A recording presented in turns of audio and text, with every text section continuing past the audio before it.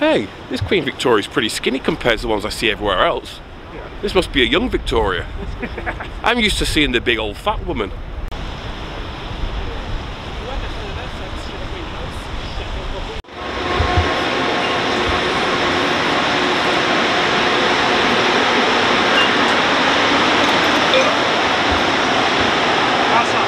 That's simple enough.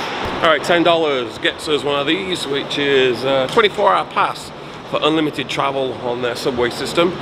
So we're, we're good with that. Keep us busy for a while. 10 bucks, good deal.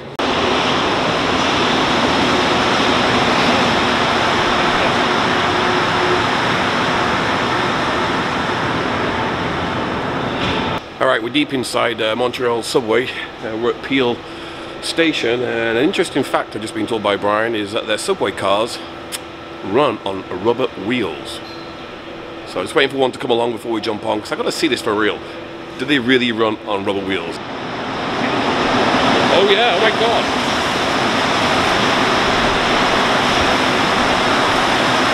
Rubber wheels. oh my god. okay, that's insane. You see that? Rubber wheels on a train.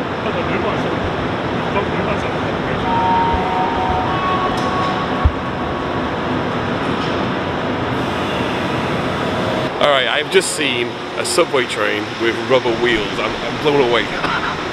wow. That's different, totally different.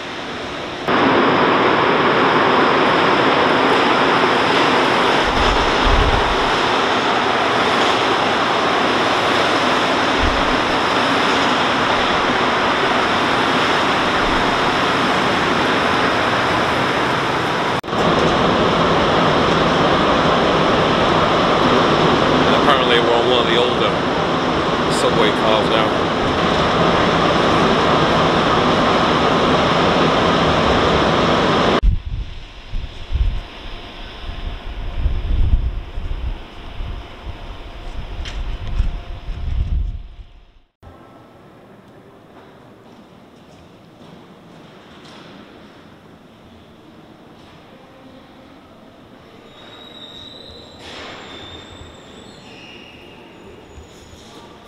Olympic rings.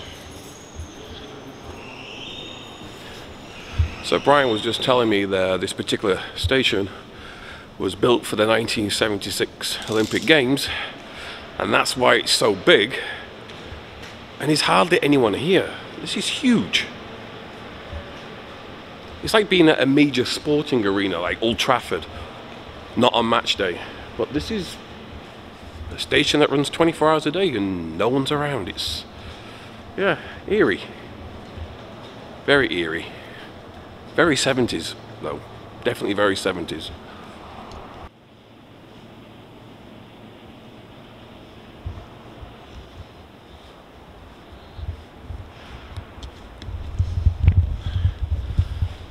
Okay, when I first walked in here, I honestly thought it was Canada Post's sorting office because the signage is the same colour as Canada Post, and I don't read French.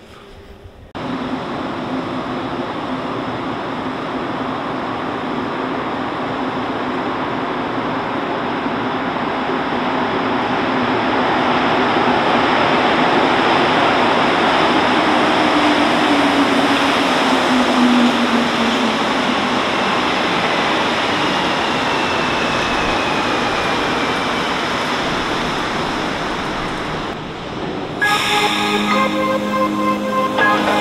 you.